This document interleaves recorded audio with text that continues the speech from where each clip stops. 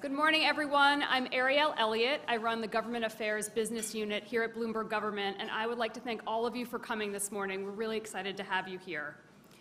At Bloomberg, we're committed to diversity and inclusion, and it's reflected in our internal working groups, including the black professional community and the women's community, who worked very hard to put on this event this morning. So thank you to all of them for doing that. We strive to establish an inclusive work environment where all Bloomberg employees feel respected for their diversity and empowered to impact the business and achieve personal success. We've convened today to talk about the importance of diversity. From government agencies to Capitol Hill to the private sector, Organizations thrive when diverse ideas are at work. Today, we have the opportunity to hear from Megan Smith, U.S. Chief Technology Officer, members of the Congressional Black Caucus Diversity Task Force, and their industry partners who are committed to a more inclusive and diverse technology industry. Thank you to all of the panelists for joining us, and we're looking forward to this conversation. Before we get started, just a few reminders. Um, there will be a Q&A after each panel discussion, and a member of our team will bring around a microphone. Please don't forget to introduce yourself before asking your question. If you are on Twitter, please use the hashtag BGovTech. And with that, I'm going to pass it over to Shawn Edwards, Chief Technology Officer for Bloomberg. Thank you, Shawn. Enjoy.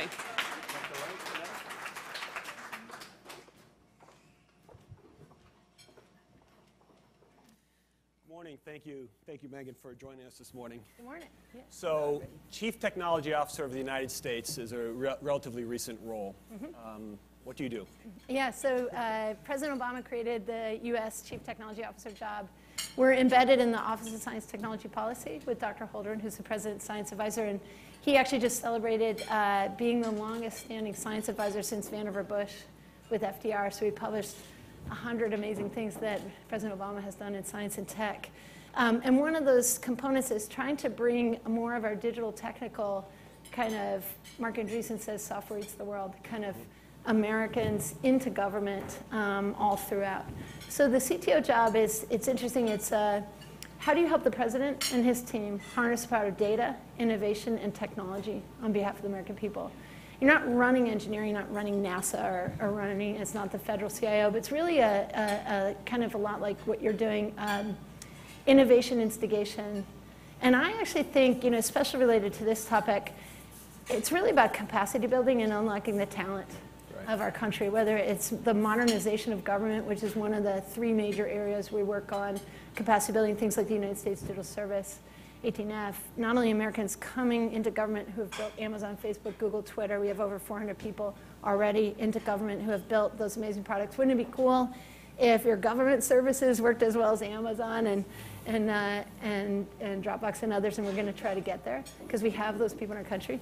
Um, as well as things like the Social Security Administration is uh, teaching code bootcamp uh, with uh, like 110 federal employees are going through right now. Uh, and SSA was using COBOL and you know old school tech, and we've got them. You know, Grace Hopper has not been alive for a long time, uh, so trying to get that going. The second uh, bucket is really around policy work. A lot of tech, uh, bringing more technical people into the conversation around policy when we're doing tech policy, net neutrality, open source we just released um, from the federal CIO, or even technical people in the room doing any policy work, uh, just like you would have an economist or a lawyer or others. And so adding that um, around sort of capacity building. And then the third bucket is really where a lot of this conversation is, um, how do we capacity build the American people? How do we get more Americans into the kinds of jobs we are in uh, and really creatively confident and going for it on the things that they're passionate about and really included? And how do we use these new ways of solving problems uh, sharing economy and internet and other right. things to solve our hardest problems poverty so, justice etc so on that last point there's really you can think of it in two ways right? Building a new pipeline of people going into the workforce but how about the existing uh, workers? You know so what kind of policies you th- can you give us some examples of some policies that would help existing american workers uh, let's say, for instance, in the manufacturing sector, Mm-hmm. increase their skills, uh, be more competitive, be able to get higher paying jobs? Yeah, so one of, one of the examples of something the president we got us, uh, pushed us to launch is the Tech Hire Initiative. So right now in the United States, there are 600,000 jobs, actually 5.5 million jobs open. The largest chunk is in IT tech. Uh, these are not just that pure tech job like a Facebook or a, or a Twitter. Um, these are jobs in like the CIO shop across every industry. Uh, it could be manufacturing, agriculture, retail, medical, um, all these areas, and they're all over the country. And really, our companies are really starving for these employees. There are not enough two-year and four-year degree people uh, to fill all those jobs, so they're going to hire as many people as they can from that track. So we'll talk about that track in a second, but this specific one is how can we use these new innovations of short course learning, apprenticeships, code boot camps, fast track. You know, coding is not rocket science. Like uh, all of us should be able to speak this uh, language. President really feels like it's. Uh, it's a 21st century basic. So with children, we're working in youth, we're working on computer science for all. Uh, but on tech hire specifically, you can take very talented people from any sector into a code boot camp and really go from a relatively low paying job to a very high paying job. These jobs pay 50% more than the average American salary. They're hugely in demand. So one of the challenges in tech hire, tech hire really is an ecosystem play. So you're getting the code Bootcamp folks in a city. So let's take St. Louis. Uh, we had seen them doing that LaunchCode, and others were doing that. You're getting the workforce development folks to be aware of reaching out to everybody and pulling people in and seeing this sector and creating that pull.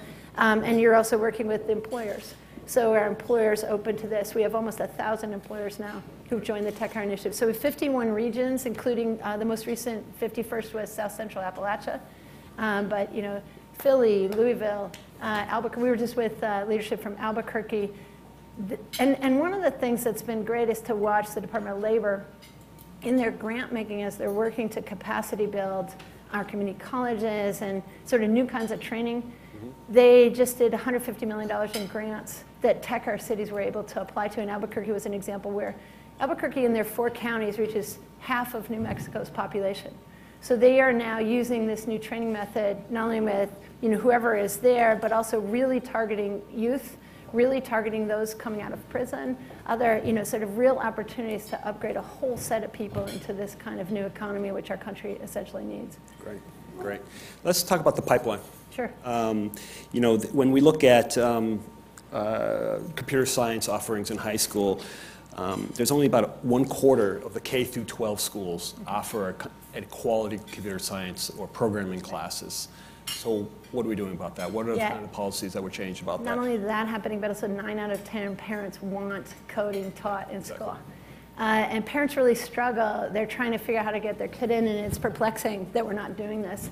And so, uh, President called for after during the State of the Union and, and in his weekly address after uh, this idea of computer science for all. One of the things in our country, of course, our educational curriculums are distributed uh, throughout the states and local, um, and Department of Education does some of that. So we don't do a top-down call, but it's really about we call these the all hands on deck uh, initiatives where you need a movement. And so what's really exciting is on Wednesday this week, um, Ruthe Farmer uh, for the president was leading uh, really 40 pages of commitments were made in the Computer Science for All uh, uh, back to school uh, push event that we had on Wednesday, which included um, everybody from you know the, the teams like an example of a city group. Chicago has already trained hundreds of teachers thousands of kids coming through um, and lots of cities like that rhode island hawaii uh, arkansas statewide stepping up to get this done um, new york city others so we're seeing real momentum as well as uh, nsf funding has come through across the years and even more this year to make sure that we're funding those developing curriculums. So there's fabulous new courses Yeah. that can be rolled out that are much more engaging at the high school and middle school level, as well as curriculum that goes all over. My favorite one was the Muscogee Creek tribal uh, community in Oklahoma teaching coding and robotics in Head Start. That's great. So, you know, why aren't we doing this with our two, three, four year olds? So that it's just the new normal that we can do these things. And what I loved about what they were doing also, it wasn't a contest based thing. They're like, you know, and they, the woman was talking about in their culture, they want to see deep collaboration. And so it's really a playful thing. It's called Botball. And so the kids are playing together and helping each other and really doing this very modern thing. And so, how do we get that to be true for all children? How do we make this a new normal? And I, I feel like we are making progress, and we have to just really push hard on all of ourselves. The other one I talk about is uh, this idea of the maker movement.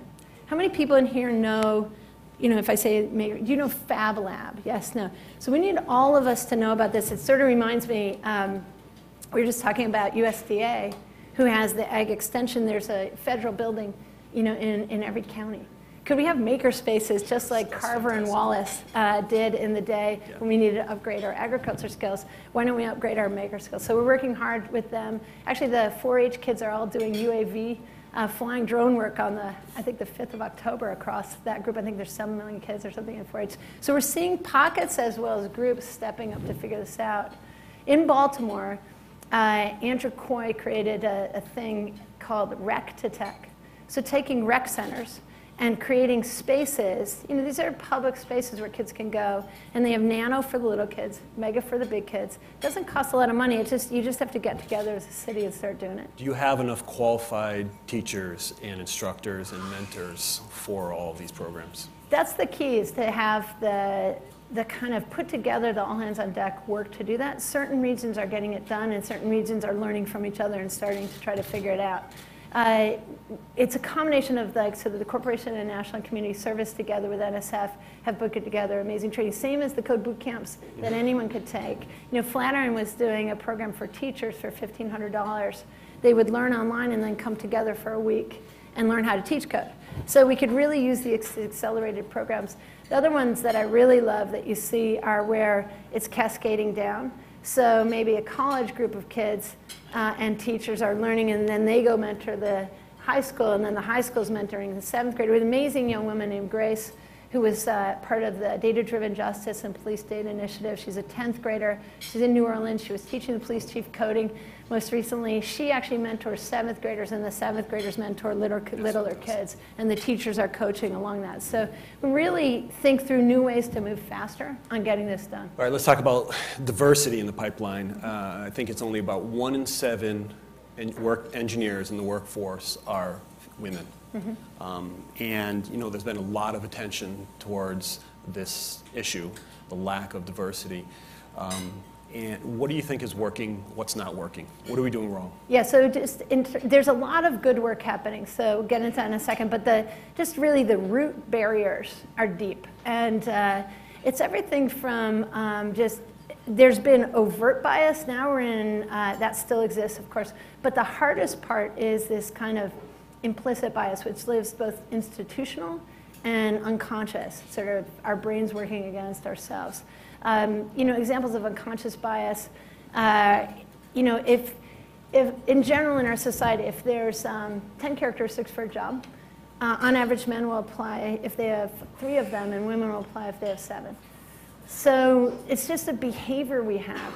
So that means we just we don't have to make men like women and women like men. We just have to adapt our society and our culture to know that that's happening and be looking differently as who, who we're hiring. We also just extraordinary bias goes in on hiring and advancement and small amounts of difference in performance reviews cascade across time. And there's amazing studies that people have done that really prove this. The, the exciting thing is not only is it the right thing to do, it's the prosperous thing to do that the best teams, though they might be slightly more uncomfortable because people haven't worked together in the same way, the best teams, the best results, the best financial performance, the best products come from the most diverse teams. So, as a strategic opportunity for the United States, we are one of the most diverse societies on the planet. And we have the opportunity, whether it's from the Native Americans who've always been here or the person getting off the plane right now who will probably come in and found a company, and they may be a refugee. We have this incredible breadth of talent here. And it's really, to me, you know, when, when you talk to the president, this is one of the major 21st century moonshots, is to get all the talent to the table and use that as the strategic asset. It's been exciting to watch the national security teams, the STEM federal teams. How do we clean up and work on our own house to make sure that, that the federal leadership, the federal employees ourselves in the STEM work for NASA, NIH, others, national security teams are much more diverse uh, at all levels. So working on hiring, working on advancement, working on the C-suite, and working on the ecosystem around that. Um, and really uh, trying to advance best practice across. Now, there has been a lot of, uh, at least a lot of increased awareness of this uh, uh, uh, uh, lack of diversity for women in the, in the workplace. I, I remember last year there was headlines saying women are leaving tech in droves, which is more on the uh, retention side. But how about It's other? culture. It's a culture issue. And uh, um, one of my favorite things that's happening is there's a film coming out called Hidden Figures. Have people heard of this film? I mean, most, how many people have ever heard of a woman named Katherine Johnson? A couple people. Usually, uh, even a couple months ago, that would have been like maybe one or zero. Katherine Johnson is the American who calculated the trajectories for Alan Shepard, John Glenn, and the Apollo mission. Nobody knows that an African American woman born two years before the vote did all that technical work. We've never seen her in the Apollo movies and all that. And, and actually, there's a really interesting graphic that I love the internet. People just do amazing things. So there's a data science group uh, out of the UK, I think, polygraph.cool slash film. Go there and it shows you who gets to speak in film. And so not only are the stories completely missing, that actually technical women uh, of all races and all people of color have always been part of technical teams uh, for all of history. Ida B. Wells, one of the greatest data scientists and journalists this country's ever seen, you know, she and Frederick Douglass protested the Chicago World's Fair to try to have African American innovation shown, and they were not allowed. This has been going on a long time. So we need to stop, you know, mixing up the stories. My friend Joanna Hoffman uh, is an amazing physics grad from MIT, from Eastern Europe, sparring with Steve Jobs the whole time through the Mac team, astonishingly talented technical woman. Um, for the first time, women are in the, Steve, in the films. She's the first woman to be in these films about Steve Jobs. And yet, if you look at the photograph from Rolling Stone magazine of the original Mac team, it's seven men and four women and a baby. Uh, and uh, Susan Kare. Uh, Susan Kare is all the graphics you've ever seen. She, the Xerox PARC team came and stared at the Macintosh, wondering, how did you do this in this memory footprint? She did the Chicago font, all the graphics you've ever seen. The line in the film is Susan made the bag. I think Susan maybe made the bag too, but she influenced our society at a most fundamental graphical level. All of our phones live with the heritage of her work. Joanna came out of the film, and of course, Kate Winslet won the Golden Globe for playing her. But the microaggressions in the writing that people are unaware of because of our unconscious bias, her son said to her, Mom, did you really iron Steve's Jobs' shirt? And Joanna, of course, is like, No, I have never ironed a shirt in my life except once for you when we were late.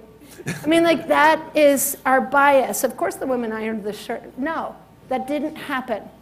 And by doing that, we debilitate ourselves because we micro, it's like a microaggressioning ourselves, if I were to So- make up a word. How about other underrepresented groups? According to the College Board, only 3% of the students that took the AP exam for computer science were black, and only 8% were Hispanic. Yeah, this So is what, a huge crisis. what, what are we doing, what policies that we're doing that are specifically helping those groups and targeting them to increase STEM education? One of the biggest challenges is the access to teachers. And so the president uh, started an initiative called 100K in 10, which is uh, a central organization. The goal is 100,000 new STEM teachers in the next 10 years and really making progress on that. Um, we need to just pull more people into, into this industry, either full time or in a tour of duty, who have the kinds of backgrounds that you and I have. You did electrical engineering at IBM, I know, early on. So, how do we get more people to serve in the teaching institution with these skills? How do we support our incredible teachers who are already there to have more active learning based uh, experiences? Active learning is, would be like when you went to math and science class, it wouldn't feel boring or totally intimidating. It would feel like you're in the music or PE class or art. Like, this is fun and interesting. And yet we have this cultural idea that there are technical people and not technical people. That's just untrue. Katherine Johnson was in the White House. The president gave her the Presidential Medal of Freedom. And she was talking about how we just have to teach math in this totally fun way because it's the language of nature. It's inspiring. It's incredible. Um, Well, I so- tell everybody I speak multiple languages, you know, English, C++, Yeah. Python, JavaScript, you know. So we want all our kids to have that. And you know, one of the great things about pulling computer science into really anyone's lives is it, it creates a creative confidence. You know, uh, one of the things we know from research is the more kids or any of us actually do these things, it demystifies it. Right now, it feels like Mount Everest, this scary thing, and especially in our culture, we've taught people, you know, who would ever graduate from high school and say, uh, yeah, reading and writing was my thing. Yeah. Right? But all day we say math and science was my thing. And, and so our culture is exacerbating the problem. And then very specifically, um, you know, back to that, that, that uh, data science on the web, even in children's TV, it's 15 to 1 boy programmers to girl programmers that our children watch, even though that's not even true to the stats. And so, how do we help our Hollywood colleagues and our other media colleagues to show the truth of uh, who's actually doing this stuff and has always done it so that we just, Churchill said, the further back you can see, the further back you can look, the farther forward you will see. And so knowing the true history helps change the future. So telling these stories like Hidden Figures, which is the, the African American women of the Apollo and uh, Mercury missions, um, and all Grace Hopper invented the idea of writing code. She wrote the first compiler, the first translator. She felt that more of us would be able to participate if we didn't only write in machine code. She was right. People fought her. Uh, Ada Lovelace, Lord Byron's poet math daughter with Charles Babbage, invented algorithms in the 1800s. We need to know that truth. If everyone knew that truth, then it would change how we think about things. And it, it's all of us together. And it's very important for a million different reasons, not only equity, financial, but also we have got a lot of stuff to solve. And so the more we have people bring what they love and are interested in together with all of the skills of the universe, including the technical side, the more we can move faster, like the President's Data Driven Justice Initiative, Police Data Initiative, Tech Hire, um, uh, agriculture, whatever of, you know, climate change, all the, these things that really require data as well as great storytelling. There's so much more to talk about on that subject. Let me touch on what you just mentioned. Um, uh, there is a, a, wonderful book called uh, Weapons of Math destruction uh, by a woman named Cathy O'Neil. Um, and um, she points out that, you know, contrary to most people's implicit belief that data science is going to uh, equal a level playing field, she points out that many of the algorithms that are actually encode, in, encode our existing prejudices. Yeah. So she gives examples of biases in credit scores, mm-hmm. which actually deny people jobs, mm-hmm. or uh, algorithms that bias towards um, uh, harsher sentencing, sentences for certain groups. Mm-hmm what kind of policies and what kind of work can be done at the, at the government level to help uh, be aware of this or help eradicate this kind of problem? Yeah, critically important. So the president's been pushing us really hard on this area. First off, he brought uh, DJ Patil, who's the first U.S. chief data scientist, to government, who's in our team, really incubating that. And DJ's focused on, uh, President Essen focused a lot on precision medicine, personalized health, cancer moonshot, as well as uh, we've added a lot of work in justice now with the events in the country um, around data uh, things. 25% of the jurisdictions of the country are now in the data-driven justice program. Uh, specifically what that is, is uh, we have this thing where we scout and scale. So we look like venture capitalists, but venture catalysts. We look for places where people have already solved things regionally, which is typically true all over the world. If you look around, somebody's got either a solution or a solution progress that's really interesting. Can we then get others to start doing that? So an example would be Miami-Dade. Miami-Dade uh, uh, was about four or five years ago was in trouble financially and was looking at how many people were in the prison system and so many of them facing substance abuse challenge uh, disorders, uh, mental health challenges. They realized that the police officers are stuck with taking people to, to jail or to the ER and no other option even if they could recognize the errors. So what they did was they created a 12-bed stabilization unit in the hospital, and then they trained police and 911 how to recognize this case and how to de-escalate and bring people to this alternative uh, path. And so of 50,000 uh, situations that presented themselves as this case, they only made 109 arrests. They went from 7,000 people in jail to 4,900 people in prison uh, and closed the prison. And so how do we get that kind of, and they were using data in different ways. Camden, New Jersey, uh, noticing that 205 people are cycling between homelessness, health, and the criminal justice system. How do you help that group of people have a different outcome by serving them better? They changed their data science work there and how they were tracking that using privacy in the right ways and dropped uh, the cost and the, the services that really make a difference. So I think, uh, first off, using this stuff for solving problems, and then to your main point about uh, sort of bias and other things in the algorithms, the president uh, had us do the big data report, really diving into the challenges around discrimination in finance and other places that we can get ourselves into if we're not watching. And this whole series of work this summer around artificial intelligence and machine learning um, conversations around jobs, around security, around safety, around control, around law and policy, and around uh, use. The more we get more of us into the design seat uh, and the confidence and creativity, the, just the better the products are going to be, and the more we're going to catch these kinds of algorithms that are coming from the unconscious bias in our minds. Thank you for this riveting uh, discussion. I, I, I could go on for hours with this. Um, but we have to go on to the next panel. Next, we'll continue our conversation about diversity and technology with members of the Congressional Black Caucus Diversity Task Force, uh, moderated by Bloomberg News Washington correspondent Toluse Olarum- Thank you. Thanks.